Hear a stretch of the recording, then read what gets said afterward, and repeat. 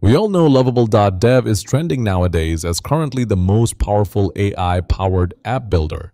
However, many people are struggling to use it effectively, so I decided to create a full series covering all the development processes you need to master Lovable and build your next successful app. In this video, I'll guide you through the straightforward process of setting up authentication with Supabase, as authentication is one of the core components of any app. For this tutorial, I'll give Lovable a very simple prompt to create a landing page, an authentication page, and a dashboard page. For your personal project, I recommend asking it to generate a sample signups or login authentication page and then connect it to the backend with Supabase. Once we've developed the sample pages, we'll test the pages without connecting the backend to ensure the user flow works correctly. At this stage, you can enter any details as placeholder since the backend is not yet connected.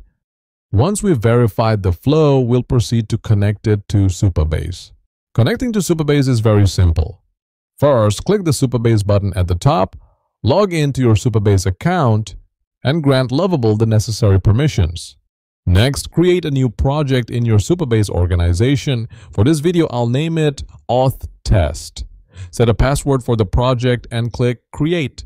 Supabase will take a minute or two to set up the project. Once it's ready, you'll see a page like this. Now, we'll ask Lovable to connect our project to the Supabase project.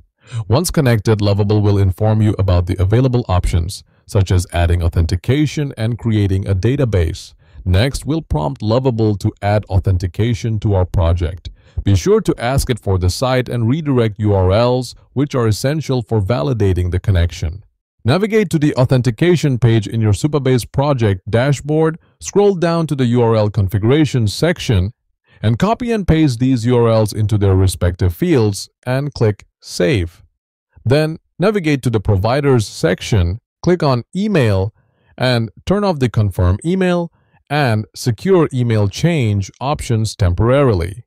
This step is to simplify testing and ensure the authentication is working correctly.